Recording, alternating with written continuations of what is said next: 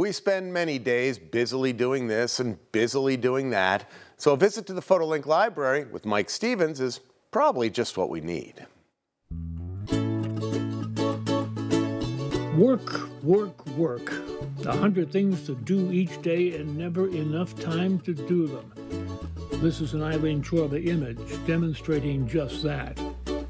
Fortunately, Mary Gabriel of Tunkhannock gave us the start of a drive that just may help us replace the realities of life with a large helping of just plain nice.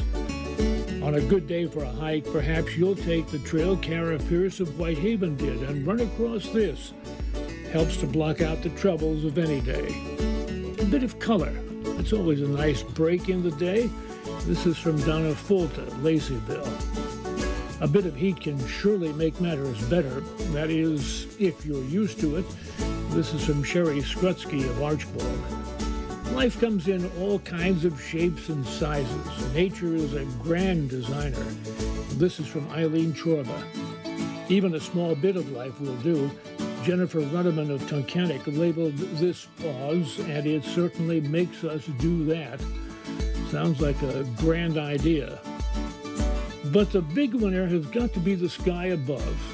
Look up, and there is something to be in awe of. A cotton candy sky from Trinity Mawat, Tafton. An early morning sky here, sent in by Jay Kuhl, Dushore. A late day sky, sunset on the Susquehanna from Bonnie Larson, Williamsport. Another day ending here in a capture from Philly Bob Squires, Lake Harmony. If it's a good day and we are lucky enough to be out in it, perhaps we'll get two for the price of one. Kathleen Borkowski of Beach Lake certainly was. Some days we wish to be where John Keeler was on this particular morning. Bad days have a harder time finding us if we have a good start. I'm Mike Stevens in the PhotoLink Library.